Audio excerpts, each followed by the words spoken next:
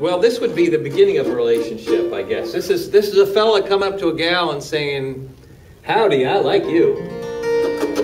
So we'll go on the two.